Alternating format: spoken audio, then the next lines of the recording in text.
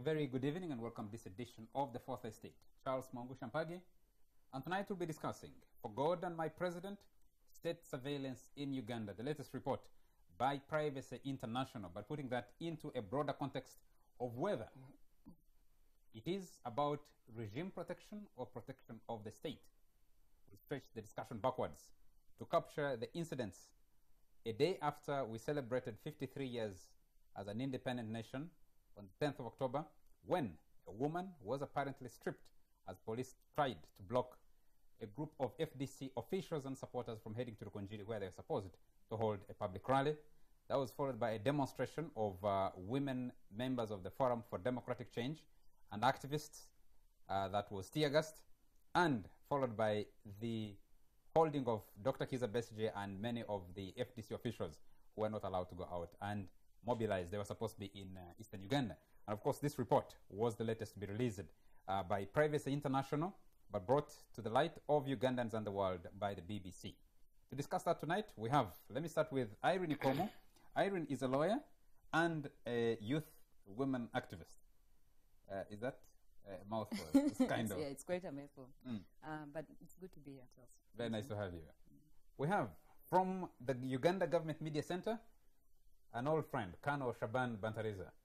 He is uh, the Deputy Executive Director of the Uganda Government Media Center. Very nice to have you.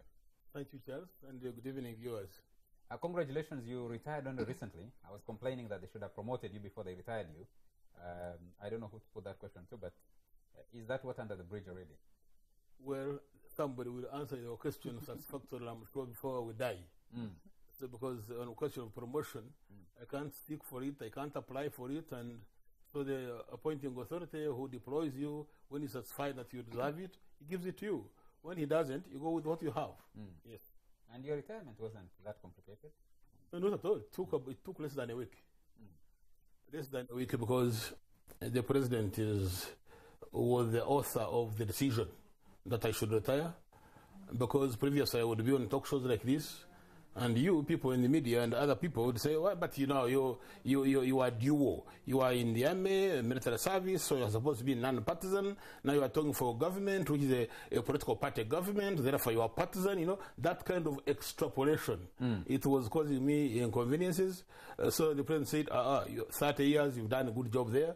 Come and concentrate on mainstream government and serve there until you retire also. So here I am. In uh, as the deputy executive director of the government media center, and therefore, uh, some people call you a government uh, spinner.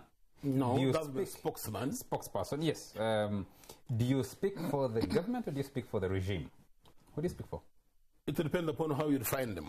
Because really, in the- the- there's con- form and content in the philosophy. The government is, but you can also uh, uh, define it. You can, in fact, the regime is a description. Government is a definition. Because government is what is. Regime is what is perceived to be. Because regime tends to give negative connotation of what that government substantively is and does. So I speak for government. You don't speak for the state of Uganda. The government is the superintendent of the state. Okay. Shaban, um, related to this discussion, is the latest report by Privacy International, you carried a copy. I believe you have mm. read all 80 pages of it. For God and my president, mm. that you are purchasing expensive equipment to spy on the citizens you are supposed to serve, which literally means you have turned the citizenry into the enemy of the state instead of protecting them against the actual enemies of the state. Intrusive, intrusive surveillance, especially of members of the opposition. Let me begin from here. This report, 80 pages as it is, which somehow uh, uh, recruited the BBC, a respective media organization, media house, to publish it or to publicize, to broadcast it. This is not a report that I would encourage you even to read through and finish.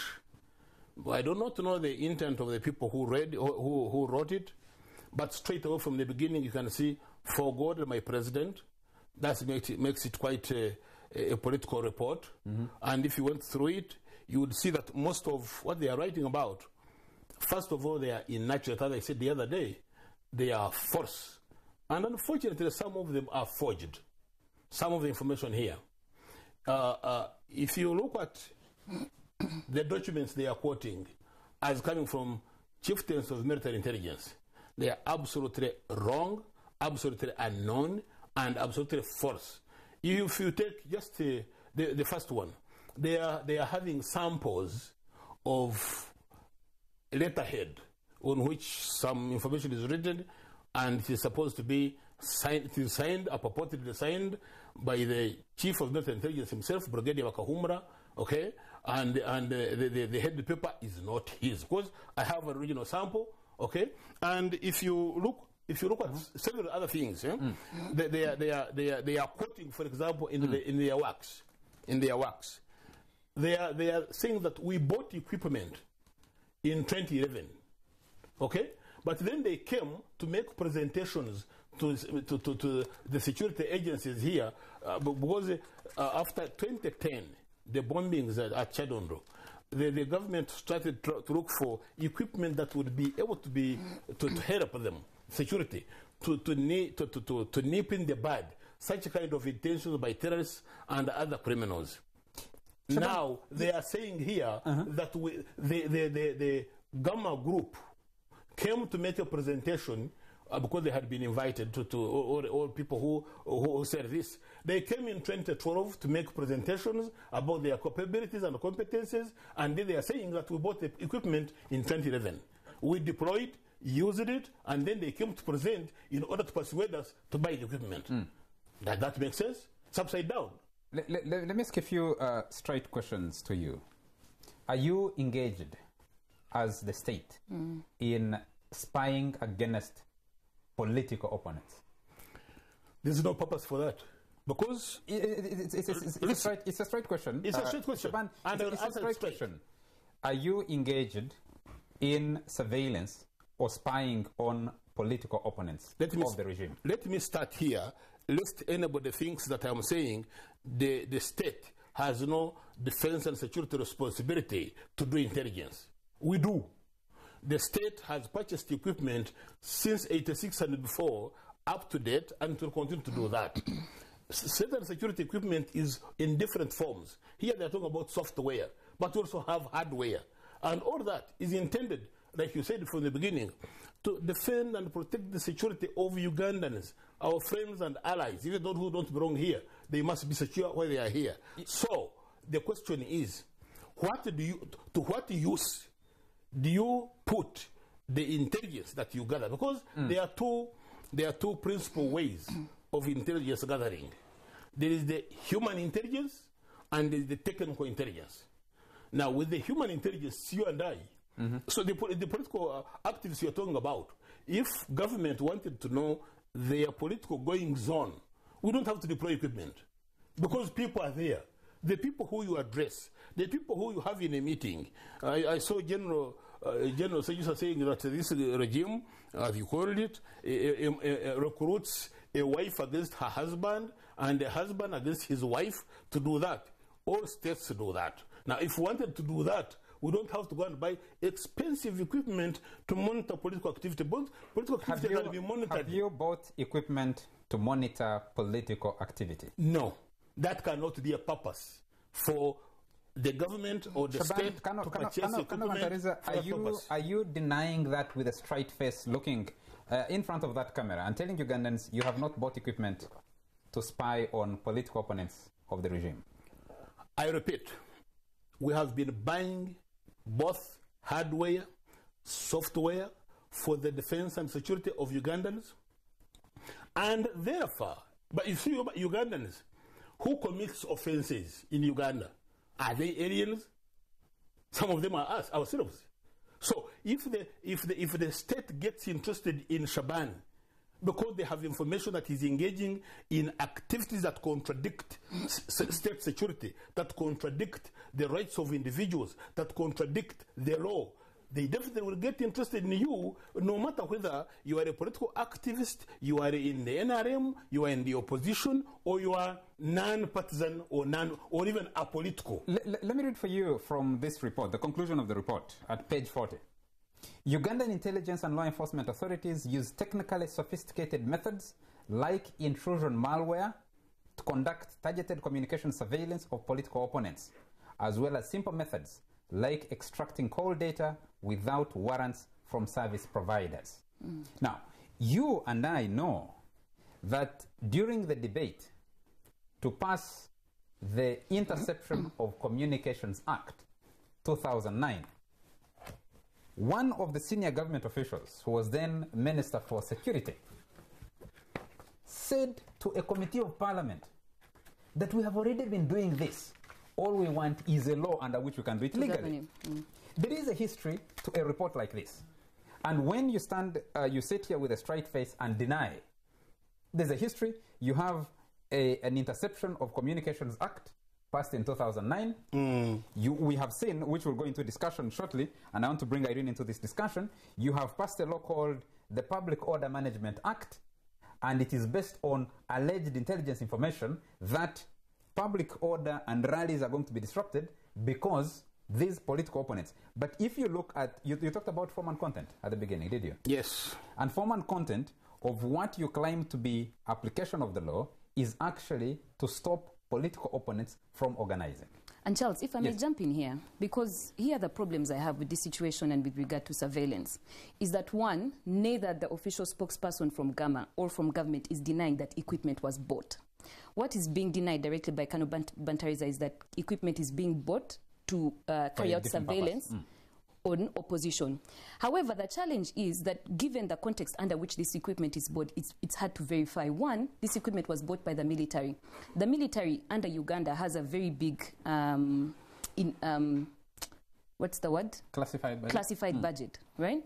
And therefore, it's hard for us as Ugandans to go and verify exactly what was bought, what it's being used for within the military context. Two, the other issue is that if the facts that are coming out of this report are true, then there is a big problem with regard to holding government accountable. Because when you go back again to the Act, the Interception of Communications Act, within that Act is a clause that requires um, a court warrant before you can go and tap phones or carry out any of this spy software. So if these activities have been happening, there needs to be proof that there were court warrants gotten, of which Kano Bantariza earlier when we were having an informal discussion said there weren't you know, he's not aware of any warrants that have been gotten. Um, so if they're not there, then these activities have been happening illegally by the government, spying on the privacy of, of citizens in this country. Uh, Shaban can respond. Because Kana Mataiza can before we dare uh, take a lot of our time discussing any substance that is related to our security and our individual rights, look at this report that we are talking about. On page 14, it says, and just one paragraph, Uganda's intelligence agencies and the military in particular have been accused of illegally surveilling and wiretapping phones since 2000. The CMI was wiretapping phones from its headquarters in 2006, and this is most important, according to Radio Katwe. I don't have to go on beyond that. Would you, if, even as a student, okay, in senior six, go to Katwe and pick this rumor and put it as authentic information that the world should believe? This is a report, and they are quoting Radio Katwe themselves, mm. right? But also, but also in the report, they quote a number of policy briefs and Yes, yes, that yes. Let's, quote from the same report. president. Let's, let's quote from the same report. I am seeing a progress letter here, a, re, a, a, report, a brief to the president. to the president, dated January 19th, 2012, written by, um, authored by Kano Bosa, M. Bosa, I think. Yes, by Kano M. Bosa from uh, the DTI or at uh, CMI. And this says, progress report on Operation Fungua Macho. Fungua Macho was the code name. When was that? 19th January 2012. Mm. And it says, this, uh, I, I, I think, as under subhead 2, this was followed by the visiting of a team of Gamma International officials in the country for a two day seminar meant to train us on how the complete IT intrusion portfolio works. They also gave advice on how our four officers should be deployed. Riff to the attached presentation used during the, second, the two day seminar. How to complete the intrusion. Is this also a falsehood? In the first place, this very document, okay, on verification, we have established that Kano Bossa, this is not his signature. You could doubt that. Mm-hmm. Okay? But this is not even his name. Uh, you're suggesting this was forged. It's this memo was forged. Absolutely. And it, th- this is not his name. His name is B O S A. This the- You- You're engaging in semantics. no, no, no, no. no. They quoted the document that he had written Mm-hmm. himself. Mm. Would you be able to fail to write your name correctly Mm-hmm. on a document that you are authoring? Can you? So Can- you are a student at university. Yes. Can you put your name wrongly and tomorrow you say this is my name and this is my document? What, here is the- here's you, the You're problem. denying that this document, this memo is uh, a forged document. Let me, let me, let me tell you. Titled secret. Yes. The, the, the, the, the, the, the, the, the, the, the document, yeah, letterhead itself, okay, as I have shown you, because I have come with the, with the sample, okay, the, the one, of- the, the, the forgery of CMI, this is an original c- sample, the original sample, check it, Wh- what is the forgery? I, Check- I, I have a copy, you have a copy Check- there. read, read what it says, hmm. read, read the, the, the, Uganda the, People's mm. Defense Forces, Yes. Military Intelligence and Security Administration Office, PO Box 11219, Kampala, Uganda. stop there. The people who listen to us and are watching us, let me read the version, the correct version of the head paper. Uganda People's Defense Forces, Chieftains of Military Intelligence and Security Headquarters, Mbuya. Hmm. Are these the same documents? But this is from the administrative office, you see. Yes, but you see, it is by Chief of Military Intelligence. Mm. The Chief of Military Intelligence cannot write a letter from administrative office. This he writes from his own his own headed paper, mm. which is this one. Mm. And this one are quoting him as the author writing this document. He can only write on his authentic headed paper.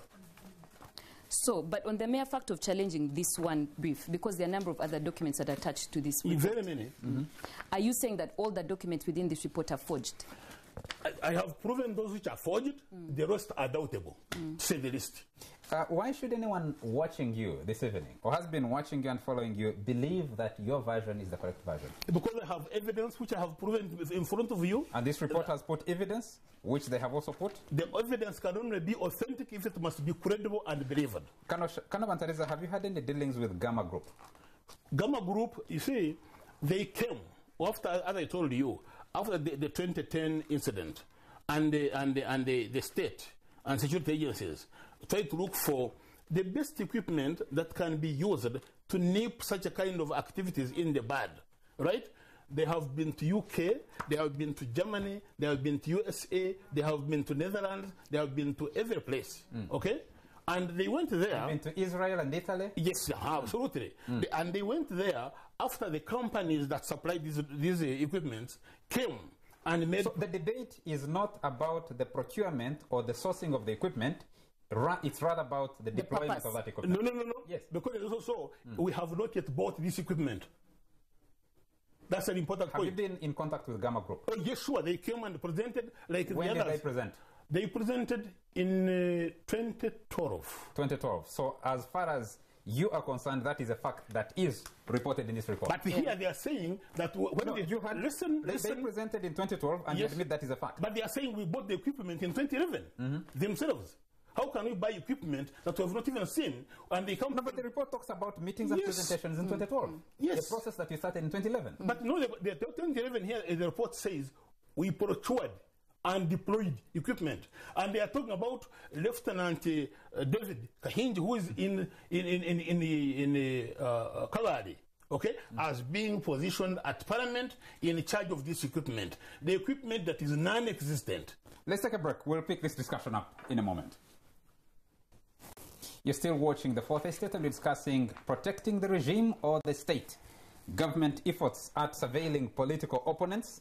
I also discuss the prevention of political opponents of the state, of the government rather, from holding activities, political activities, as we've seen in the last few weeks. Irene, Shaban makes a good case for me. The state has a responsibility to protect all the citizens.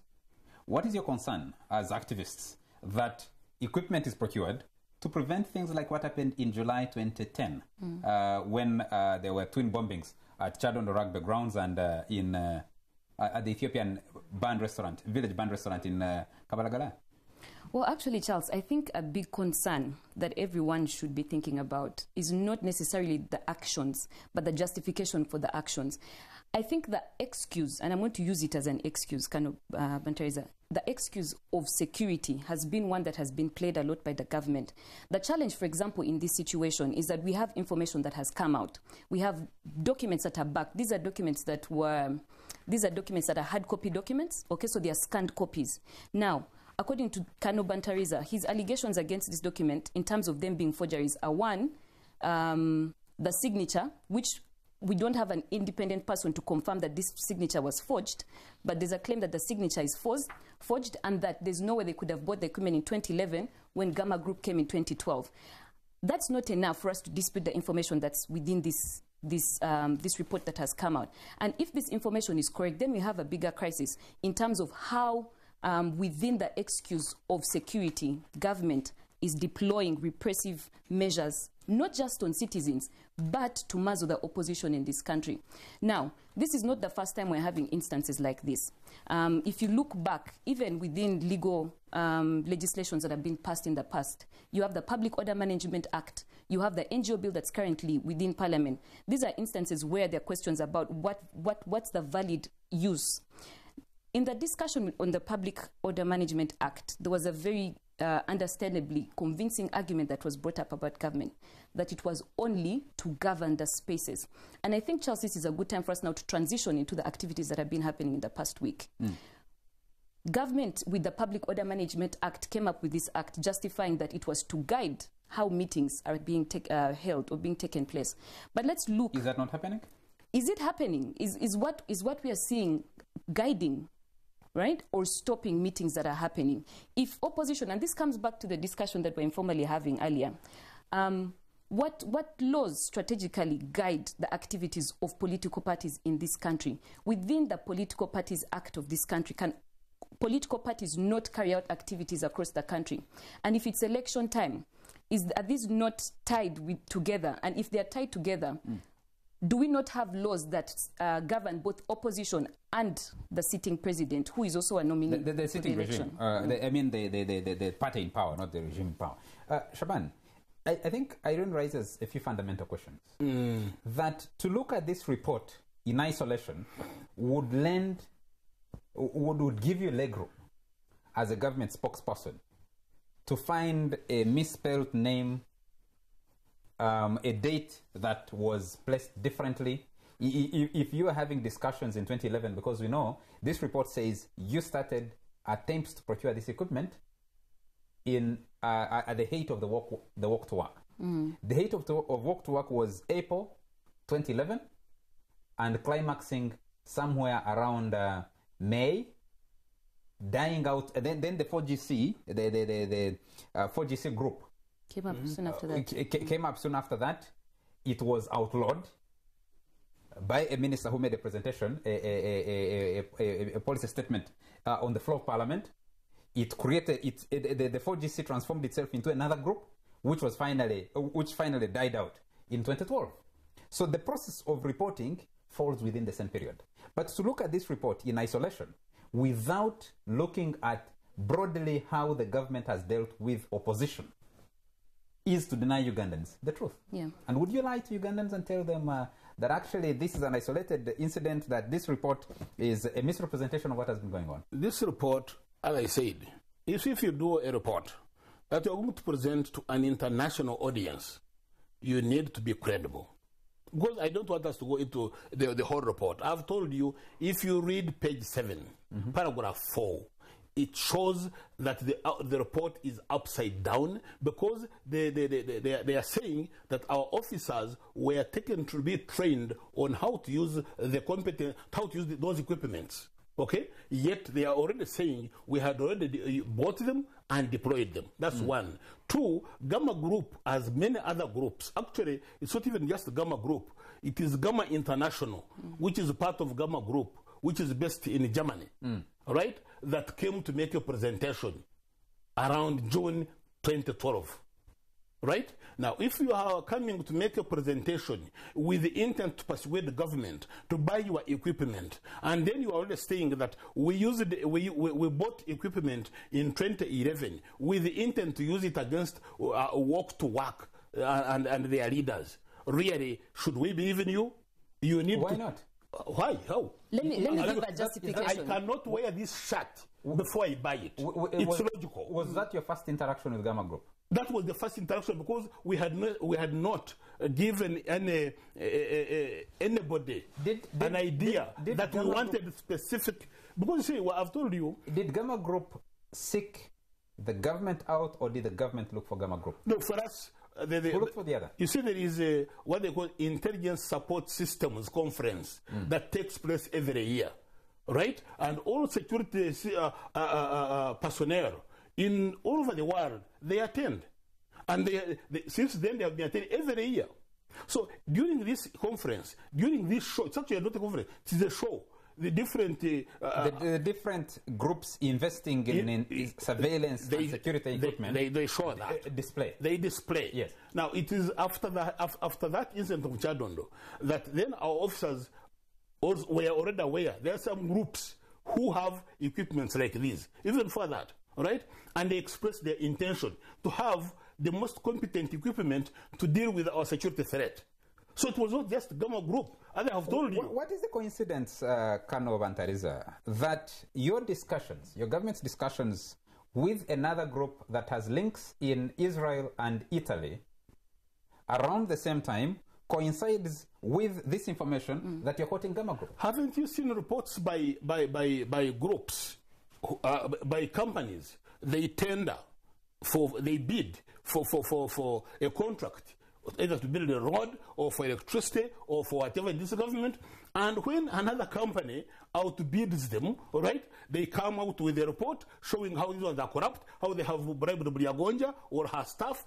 This kind of report, hmm. okay, is is bound to come out. Even So it's- the it's- only it's a fun fact. is It's a fact. the only fun is hmm. this report is coming out even before we have given a contract to anybody to supply among those who who showcased their their, their hardware and software. Uh, what because is we haven't bought them at all. You, you haven't bought equipment for At surveillance. We haven't bought equipment from this group at all, or from the groups that showcased what they have for specific surveillance, okay, of, of what we want to surveil.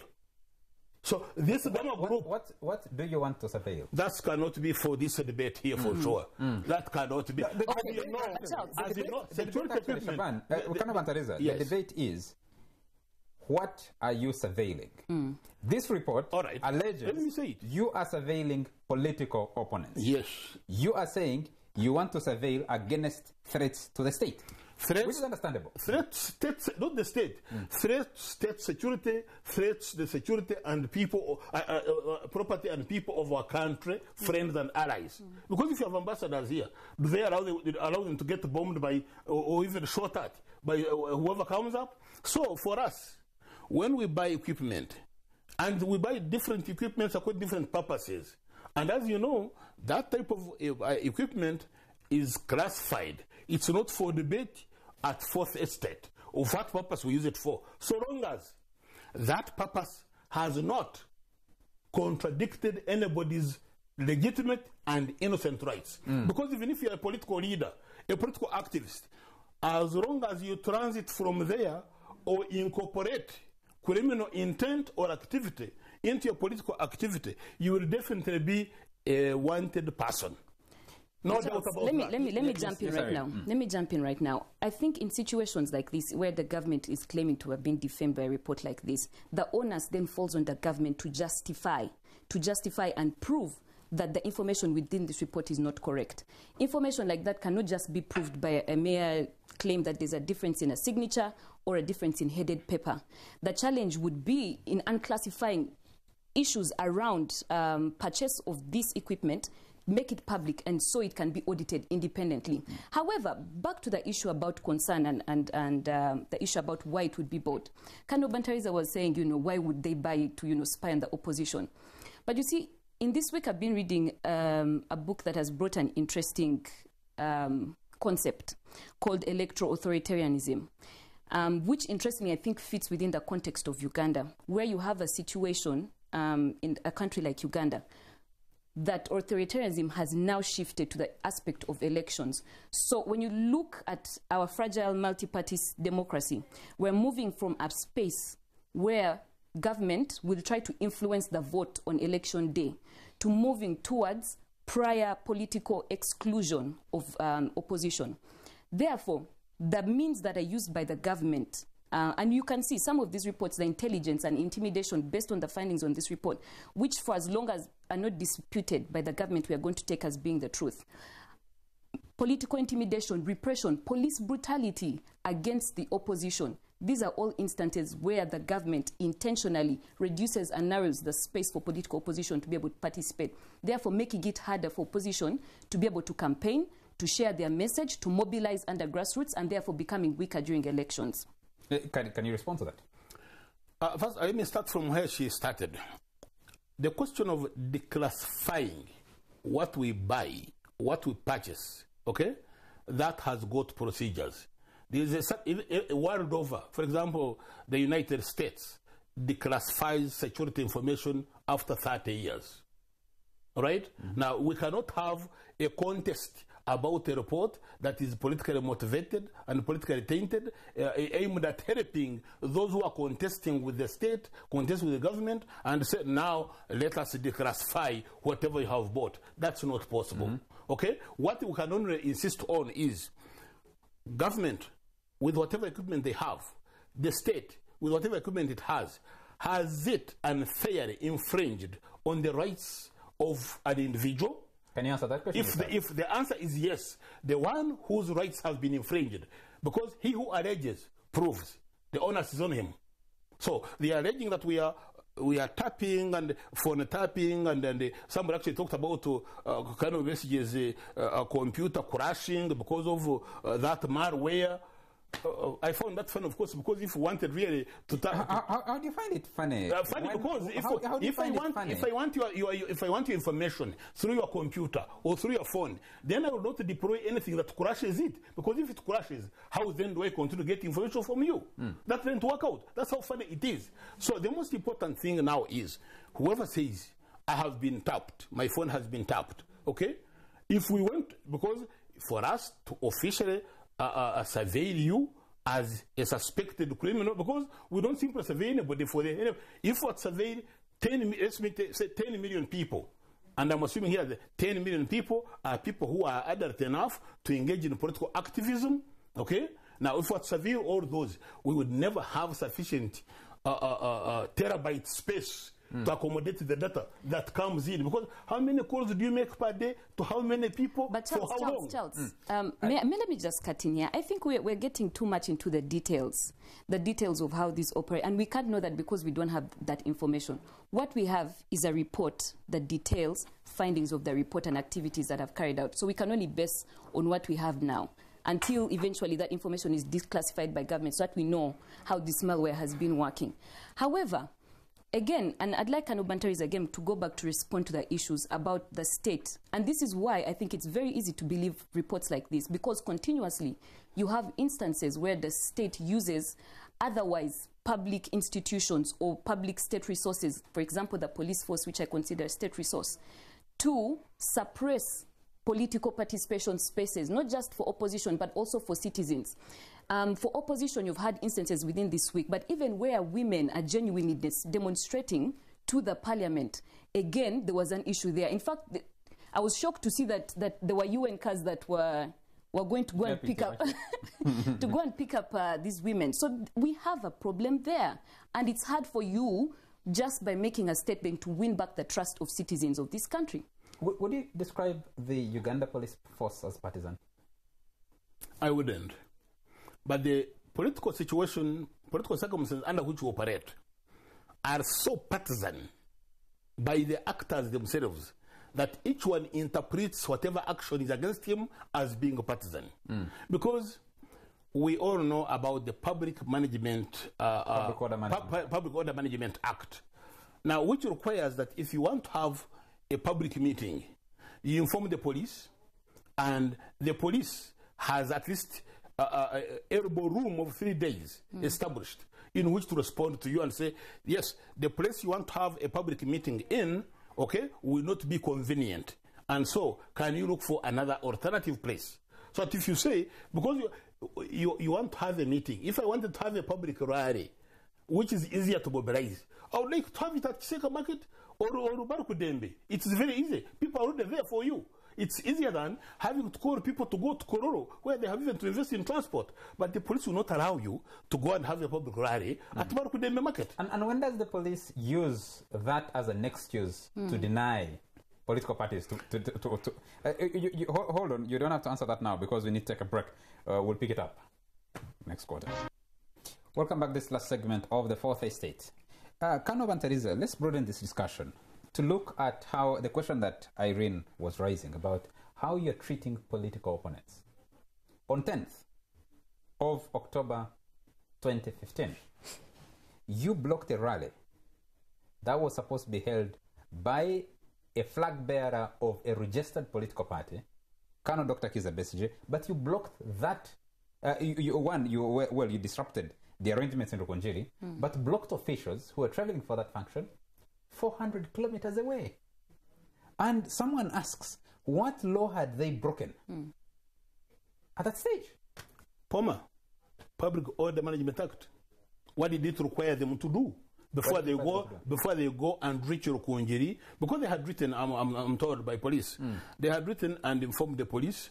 You see, there is a a contestation, which I think uh, is the is the background to the current uh, the current conflicts really, because this is political contestation should ordinarily be peaceful by the police and by the political actors Is it? together. Hmm. It is not. Why? Okay. Now the the the the the, the, the reason it is not are various are, are various reasons. One, if you take for example in the recent past, where my senior colleague Kano Kizza says, I'm not getting into this election to win it by compliance, I will get in and win it by defiance. Now, that one definitely and automatically uh, prepares those who deal with uh, uh, public security, okay? Prepares with them, their mindset, to deal with disobedience. So the police To deal with so, so defiance. the police is working not on intelligence but mindset that any opposition activity is going to be a, a, a- disobedient one, a, a defiant one. This one didn't require any intelligence. Hmm. It only required the, because they wrote to the police, I'm told, okay, and the police responded to them, and the, the response was not uh, uh, uh, was not saying go ahead and have that meeting. We shall we shall secure it as you require. Okay. Now for them, they said we are going. What does the law require? Public Order Management Act. It requires It requires, you, it you, requires you, not, the, you the organizers to give a notification. Notification. absolutely Yes, and what does the what is the police supposed to do? to respond to your notification and say that's okay in terms of place, okay, in terms Is, of is, time. does the Public Order Management Act, does the Police Act, does the Political Parties and Organizations Act grant any powers to the police to act, allow or deny, to give permission or deny permission? Let me put it this way, or, or uh, in a formal question. If the police said, since you have not given us uh, enough time to organize, to protect and defend your, your rally, go ahead. Then they get to Rukungiri, okay? And the ordinary citizens get on each other's throat. And it, it, it, it, it, it, it develops, it deteriorates into a security threat for the people, their property. Who would be held accountable? No, no, no. What- but you yes, see, the uh, who issue, would be held accountable? the issue here is mm, I don't know. the you answer question? individual. Who would be held accountable? The individuals would be held accountable, but let's look at the the, the reason. And the first of all. organizers too. It can't No. be just individuals. Okay, let's let's start with the, the, the two arguments that you've brought up. One, the issue of defiance and basing on defiance. First of all, the Constitution protects civil disobedience under the right to expression. The right to expression includes civil disobedience, which includes demonstrations. That you should know. So the Constitution of Uganda protects that.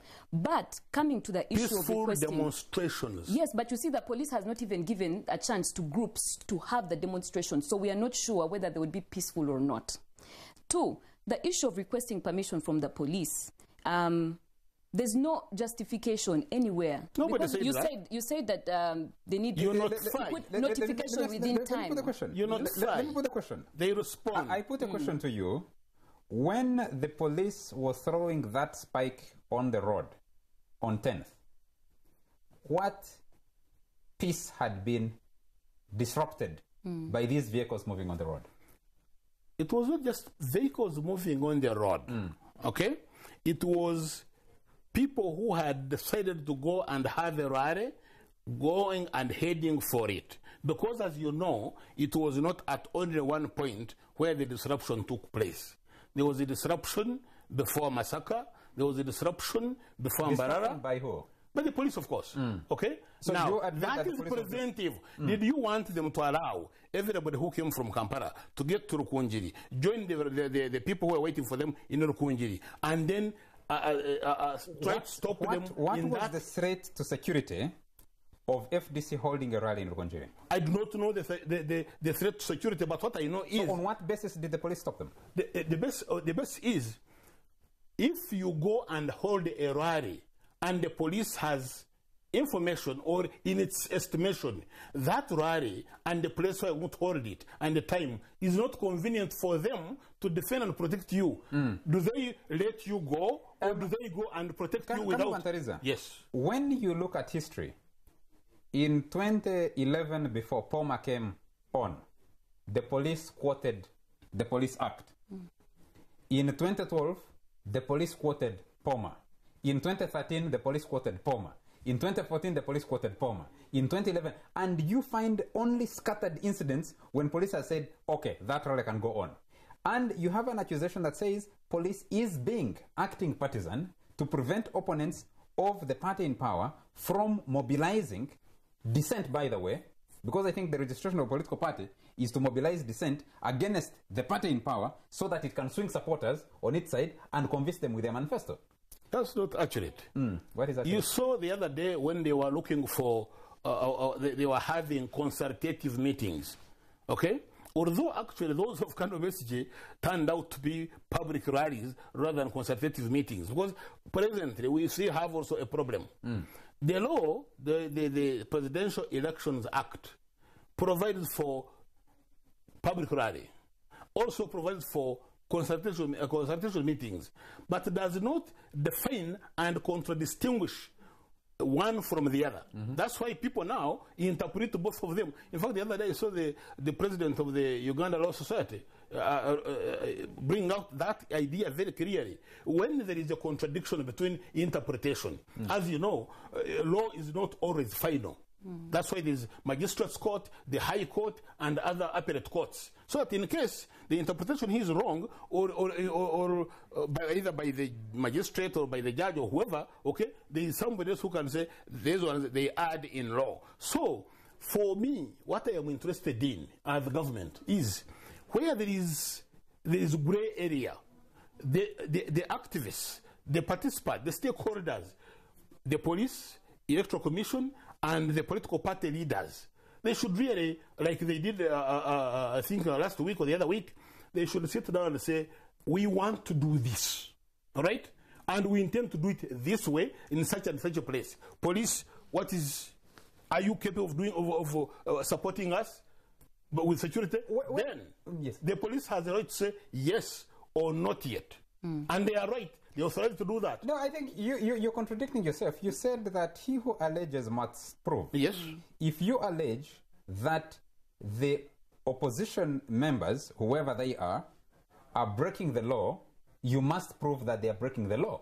But Charles, let me and ask, that um, if I can you, join you, this you, do- discussion you as do the, the interpretation of, of saying whether they are holding the consultative meeting is in, with a larger group of people or with a handful of people. Another, I was Charles, let me let me help you as a lawyer on Sure, the panel.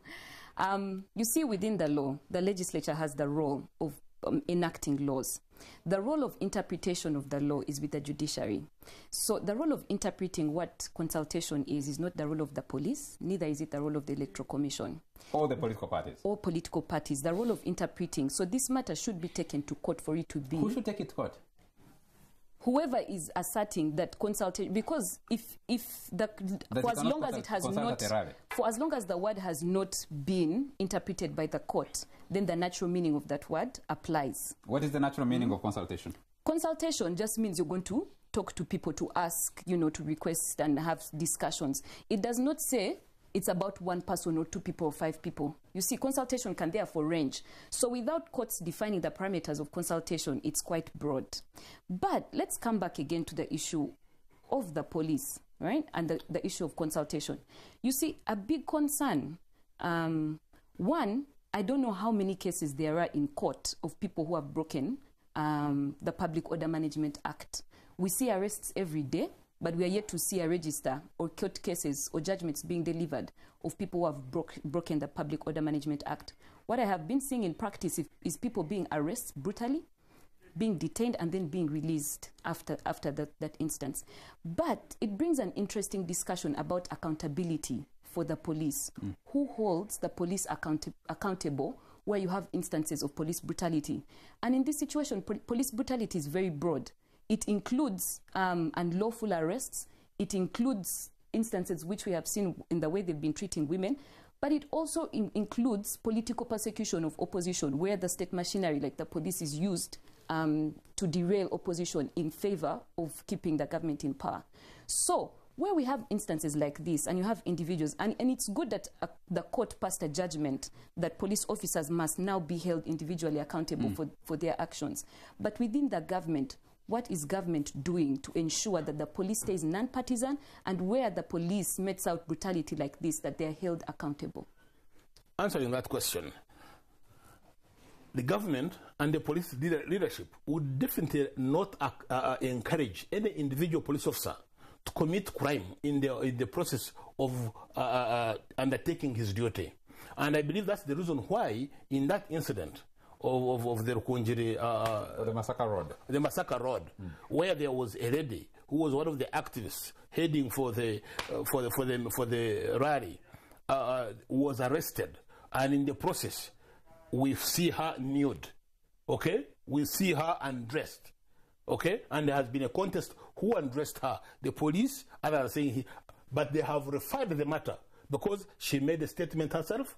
We, I- eyewitnesses made statements themselves, and the police have made statements. They have forwarded that matter to the DPP. So, in consonance with what you're saying, now we are going to have an independent arbiter saying the police officers have a case to answer in this matter. Mm. And if that happens, mm. you know before, police officers individually who have committed offenses have been taken to court and have lost their jobs, have been dismissed, okay, and others have been punished in different ways. Give So- an example. Oh yes, you, you remember the, the, the, the policeman who attacked somebody at Mukwano and and and and, and beat him up at Mukwano f- factory down here. The, the, the, the Mukwano worker. Yeah, the Mukwano worker. Hmm. They were taken. They were they were taken to court. Eh, okay. Ca- ca- ca- were- any point were We, we, discussing we're discussing politics here. Yes. Yes. Political playing field. Yes. Can you quote for me I have a good police example. officer who has been punished I have a for good example. One of the You see, you have to define instances that what a political people's mind. offense is other than crime. Because we don't be, get persecuted or prosecuted on the, ba- on the basis of a political offense. You must define it. What does the law tell us? What, how does the law? You are a lawyer. What is a political f- offense by definition? No, you, you said you had an example. Yes. Can you quote Well, another example I- I- apart from that I- one? no, of I'm, that I'm. I'm saying uh, this one, in this case, okay, where this lady, for, for any police officer to nudify this lady is certainly not political this time. It's an offense in itself. It's a crime. And there'll be punishment. It's a crime. So if the DPP, who is now has the file, says policewoman X, policeman Y, you committed an offense in this process, you'll definitely see those police officers to be held accountable and responsible. Would you, would you say, uh, Kano Bantariza, on the show, that the police has been conducting itself in a professional, non-partisan manner in dealing with I am not. opposition? I'm not competent because they have got a, a, a, a professional standards unit among themselves, which has got the benchmarks and standards on which they judge which police officer has committed an administrative mistake, which police officer has, has offended the law, therefore has committed uh, uh, uh, uh, a crime. Therefore, for me to say they have acted professional or not professional, I can only say they have done their best to do the job in a political power contestation that is going on. I disagree. Because Political power contestations are emotional uh, and therefore Would you say- irrational. W- would you say that there is a level playing field to participate in election processes? A level playing field does not exist, to the best of my knowledge, anywhere. Okay? It can only be, okay, basic minimum standards. Now, as long as we have got provisions, what will the Electoral Commission do to all the 48 candidates that wants to be presidents? Is it going to treat them all fairly? Some have political parties which they represent, some have none, others are independents. We need to give the, each of them the, the same opportunity with everybody else. That's how fight can go. Hmm. Because I have had people saying, you know, you see, Do they all have the same opportunity? you, do they all have the same opportunity? Electoral Commission will answer that hmm. because they are the ones You, who. you speak for the government. Yes, Yes. But So you when I speak for for, the police, government, you speak for the yeah, but you know, Commission? there's also electoral commission. Hmm. It has all spokesman. They have got their law. They are more confident with it, and they organize the roadmap. All right. And so, as far as I'm concerned, the electoral commission will give equal opportunity to all. Now, when they do not, then somebody can come and say, electoral commission did not give opportun- uh, opportunity to all government. Why did that happen? Okay, Irene, was you, you wanted to say something. Um, I just wanted to start first by responding to the issue about professionalism, right? And let me give let me give you the standard before even the police unit. Um, there, Standards unit. yes, before the standards unit can even give you a statement. There's a basic um, room within which policemen are allowed to use reasonable force when they are carrying out arrests. In the definition of reasonable force, the reasonable force must be commensurate or must be um, must match the threat under the circumstances. And I think that's a normal standard that any citizen can be able to use. When you look at the instances where we've had um, the opposition being stopped, um, the opposition rallies or consultations being interrupted, and the nature in which people are arrested, bundled up, and thrown at the back of police trucks. These are unarmed civilians. They are not combatants. So, can we say that the police is using reasonable force in those instances? There, there's no. an argument, uh, Irene, that has come up, which says that when a police officer tells you you're under arrest, why don't you obey? Why don't you respect the authority of the police to comply? But you see, when these laws are being drafted, they expect all scenarios that not everyone you're going to arrest is going to comply. There are instances, uh, No, my question seen it on is, in, in what we have seen uh, with the, the, the ongoing political contestation, Mm. is you see almost an equal attempt at defiance of uh, what is lawful orders that might be interpreted as unlawful orders. Mm. When do you strike the balance and say, uh, on this one, I have been uh, given instructions, I must comply with them? The issue here comes up to an, a question about trust within between citizens and the police force, because then you question. Ideally, if citizens trust the police, for example, when you look at the way traffic is, is done in this country, people trust the police force. In as far as managing traffic is, when the police stops a lane, people stop. When they let them go, they go. In instances of especially political situations, it, it becomes different. A lot of times, not, not many of the people who are being arrested are informed of the exact reasons why they're getting arrested. The police force in itself, when it comes to uh, call off these discussions and rallies, is very forceful. And so, of course, there's going to be a, a back and forth. Thank you. Our time is out. We need to, I, I just ask one question to Shaban and we get out of here. To Kano and we get out of here. Um, when you have a situation where police arrests people involved in political activity, challenging for state power, and you never have a successful or, or a complete prosecution process, is it not fair that an independent observer would conclude that the state or the police, as, as, as an institution of the state, is acting in a partisan manner?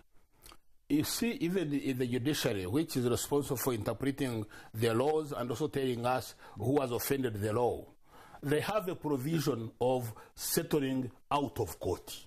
Meaning that not everybody, not everything, not every conflict can be taken to court. So all those arrests, uh, basically gets arrested 49 Now, if- times if- and uh, they are settled out of court by police just abandoning the file? if, if they think that prosecution of that, co- of, that, of that case or what has happened will not take either the, the, the, the offender or the state any, will not do them any good, they will let you off. Why do it again? Now, why why do it again? So the other the, the other defiant or actor or political actor, why do it again? Hmm? Why do it again? Because there was no law broken, and therefore, as part as his rights are concerned, he has to continue. For as, long, uh, for as long as you do not notify the police and uh, allow them in three days to give you a feedback, for you to have a rally, to have a meeting, they will always disrupt you. Mm, so the police is playing a disruptive role. The, the, the, the, the police is playing a legal role using the authority. Quoting what law? Uh, Our time is out. Public, o- Public Order Management Act. Our time is out. We need to get out of here. Thank you very much. Kano Shaban Bantariza, retired uh, deputy spokesperson. I, I mean, um, ex- deputy executive director of the Uganda Government Media Center, which makes you the deputy spokesperson of government. That's a mouthful. Just Yes, it simply say the spokesman of government and we get out of here. Irene Ikomu, thank you very much for making time for the show. Thank you. Thank you very much to you all our viewers for joining us tonight. Do join us again next Sunday for yet another exciting discussion right here on the Fourth Estate. Have a good night.